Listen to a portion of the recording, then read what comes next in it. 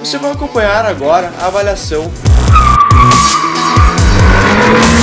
da BMW 328i Sport 2015. Nosso vídeo de hoje é da BMW 328i Sport EP 15, esse modelo aqui 2015, ah, porque nós já testamos esse carro, nós já sabemos, conhecemos já essa 328, o vídeo dela completo está bem aqui, vocês podem clicar para ver mas a que nós testamos ela não era Sport, tem alguns detalhes, algumas diferenças estéticas em relação à normal, e ela era 13 14, então agora a gente está com uma um pouquinho mais atualizado, que na verdade é o mesmo carro, o mesmo motor, mas a gente quer dar uma aprofundada na análise dela. E agora falando um pouquinho sobre o preço da 328 e também um pouco da, dos preços da série 3 em geral. Uh, esse ano a BMW uh, baixou bastante os, os, preços dos carros. Uh, um exemplo disso é a BMW 120, que agora no fim da linha, como vai, chegar a nova série 1, ela estava sendo vendida a 99 mil reais. E esse carro aqui que tem uma tabela FIP de 203 mil reais estava sendo vendido a 178 mil. Isso porque ele é a versão que tem a tela de 8 polegadas e vem com câmera de ré. Além disso, ele também vem com os retrovisores que dobram e com o sensor de presença que abre o carro quando chega com a chave perto dele. Mas a BMW também estava vendendo uma versão desse carro aqui de 169.900. 1515 com a mesma roda, esteticamente exatamente igual, o mesmo carro.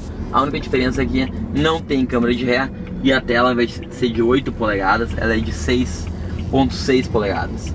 É uma tela que a estrutura dela é a mesma, a única diferença é que ela vai vir mais ou menos até aqui, dos lados. Ela vai ser um pouquinho cortada. Mas uh, tava com preço muito bom mesmo, custo-benefício excelente para quem busca um carro esportivo. Já que esse carro sempre foi 180 mil reais, assim como o concorrente direto dele, que é a Mercedes C250, que está 188 mil, exatamente. É claro que em São Paulo talvez até seja possível conseguir a 180 mil mas a FIP delas sempre foi mais alta. Agora esse ano está mais baixo, principalmente a 328. O motor desse carro aqui é um 2.0 turbo 245 cavalos, que fazem com que ele acelere de 0 a 100 em 6,1 segundos. O câmbio é o conhecido ZF8, ou seja, todas as especificações técnicas desse carro são as mesmas da outra 328 que nós testamos. As diferenças dela com relação à outra estão na roda, que essa aqui vai ter uma roda 18, pneus de perfil baixo, que a outra tem uma roda menor. Essas rodas aqui vocês podem ver nas imagens externas. Uh, e ela vai ter também costuras em vermelho na direção e nos bancos de couro. Ela vai ter os bancos que te abraçam um pouco mais aqui, com o ajuste elétrico que tem na lateral do banco. E também tem a opção de colocar esse, essa parte aqui da coxa, que tu encosta, um pouco para frente. E o computador de bordo desse carro, ele é muito completo. Nós não exploramos muito o computador de bordo desse carro no último vídeo, mas uh, as BMWs elas se destacam por uh, os auxílios ao motorista, enquanto em, tanto em computador de bordo de viagem quanto computador de bordo normal. Vocês podem ver aqui, tem as informações, tudo isso aí normal, mas uh, ele tem o Efficient Dynamics também, diversas dicas também para de condução, análise de estilo de condução, informações sobre Efficient Dynamics e histórico de consumo, que vocês podem ver bem aqui. É Aqui no gráfico vocês podem ver que nós estávamos pisando bem mais há um tempo atrás e agora nós estamos andando mais devagar. E já tem os quatro modos de condução, né? Que vocês podem ver aqui o Eco Pro, que é o mais econômico, o Comfort, o Sport e o Sport Mais, que é quando ela fica muito esportiva mesmo.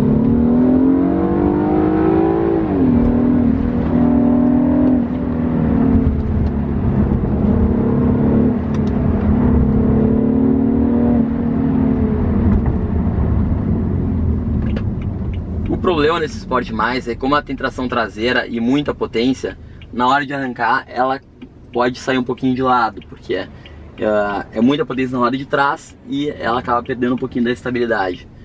Então isso aí é até um pouco perigoso fazer curvas muito rápido com esse carro aqui, com o Sport Mais.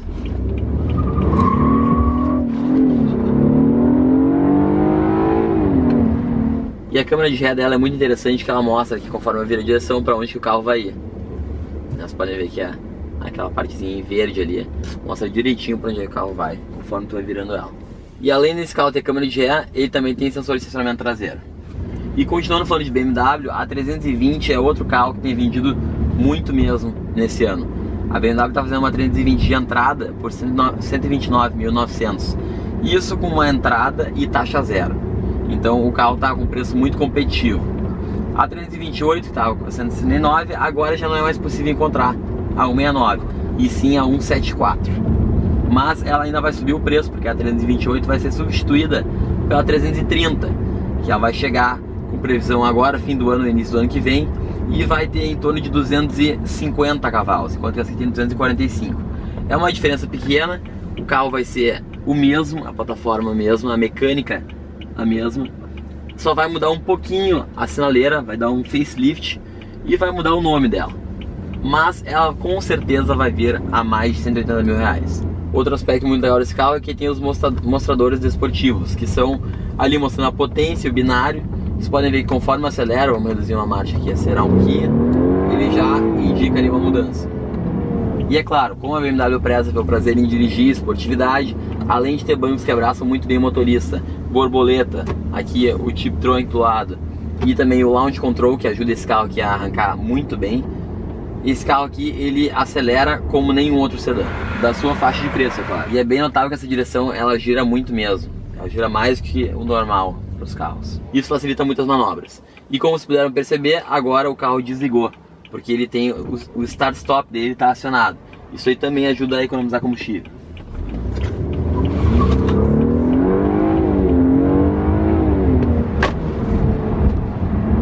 É claro que quando a gente pisa desse jeito ele não vai economizar muito, ele vai fazer abaixo de 6 por litro quando está pisando.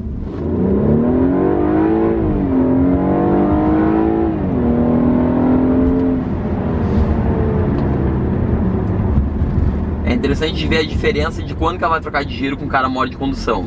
Com a EcoPro ela troca lá em 6 e pouquinho. Mas no Sport ela troca pelo menos em 6.500, 7.000 giros. Essa é a chave da BMW 328i Sport. Vocês podem ver que a diferença dela em relação às outras Série 3 é que ela tem essa parte aqui em vermelho. Para ligar, ela é presencial, pode deixar em qualquer lugar do carro, ou até no bolso, apertar no freio e clicar aqui no botão. As BMWs elas sempre são do mesmo jeito por dentro. Elas têm essa parte aqui com apoio de braço muito grande e aqui a operação na multimídia dela é pela parte central ao lado do câmbio. Esse câmbio é F8, que a gente já falou ao longo do vídeo, mas vocês podem ver que a operação na tela é tudo por aqui, o computador de bordo dela. Eu estou mexendo aqui embaixo e ele tá ali mexendo também. Então vamos explicar um pouquinho melhor esse computador de bordo, que no outro vídeo que a gente fez a 328, a gente não teve uma explicação tão boa. Começando com informação sobre o veículo. Quando a gente clica aqui, vai é, Efficient Dynamics, que é aquele sistema da BMW para recarregar a bateria. Quando tu pisa no freio, ela vai se recarregando. Vocês podem ver bem aqui. Análise da condução também é tudo uh, de forma a condução ser mais econômica possível. análise modo EcoPro. Vocês podem ver nesse gráfico. Uh, consulta rápida também. Que ele te dá vários. Ó, a BMW no relance. Ele explica abrir e fechar, ajustes, podem ver que tem muitas opções. E aqui vamos direto para o computador de bordo. Ó, consumo 4.6. 4.6 porque nós pisamos bastante no nosso trajeto, tinha muita lomba e muito trânsito. Mas esse carro aqui vai fazer uma média de 7 km por litro na cidade se andar sem pisar ele. E aqui tem o estado do veículo, que é muito interessante. Ele tem todas as informações possíveis sobre o veículo. Indicador de anomalia dos pneus. Vocês podem ver que dá a imagem 3D do carro ali na tela reinicializar, é, nível de óleo do motor, nível de óleo está ok, medir o nível de óleo, dá para medir ele, necessidade de serviço, ó, tudo aqui, ó, óleo do motor, óleo dos travões, inspeção do veículo, pastilhas dianteiras, pastilhas traseiras, e tudo isso ele vai dando ali no desenho, como vocês podem ver. Mostrador desportivos, como a gente já falou, acelerou o carro, ele indicou ali como é que tá. E aí vocês podem ver o GPS desse carro, que a gente pode colocar um destino aqui, e vamos dizer aqui então, vamos colocar uma rua, né? Vamos ver aqui. E é muito interessante que essa parte aqui do meio ela permite que tu escreva nesse botão central que ele vai entender ali. Então isso aí é tudo para otimizar o tempo e facilitar a vida do condutor. Pode ver se colocar um P aqui, que ele vai mostrar ali no painel. Multimídia, esse carro aqui ele aceita uh, até HD externo nele. Ele pode colocar o iPod, claro, tudo função de uh, sons normais mas também aceita CD e DVD. Podem ver que a direção já tem essas costuras aqui em vermelho, que é tipo da versão Sport, e as laterais também. E não só as laterais, como também Os bancos. Os bancos desse carro ele tem um ajuste para coxa aqui, que tu pode estender ele. E também na lateral ele tem ajustes elétricos tanto para o motorista quanto para o passageiro que senta na frente, além da opção dos dois conseguirem ajustar a, o abraço que esse, esse banco te dá. Ele pode ficar mais fechado, mais esportivo ou mais largo.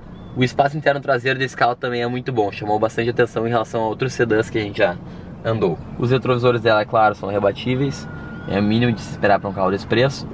E uh, vocês podem ver que ele tem, ele é preto piano por dentro, mesmo que o carro seja branco. O comparativo desse carro 328 e Sport com a concorrente direta dela, C250, uh, ele é resumido pelo o que, que, está se buscando ao comprar o carro. Se o que se busca é requinte e status, a Mercedes é uma melhor opção. Ela tem um acabamento muito melhor que o da BMW. Mas se o que se busca é esportividade e prazer em dirigir, a BMW com certeza é uma melhor opção. A 328 é o carro perfeito para quem quer um sedã e gosta de acelerar.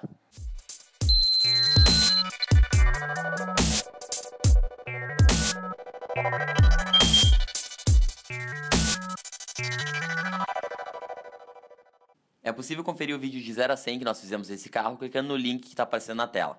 Obrigado por assistir e se inscreva no canal para não perder as próximas avaliações.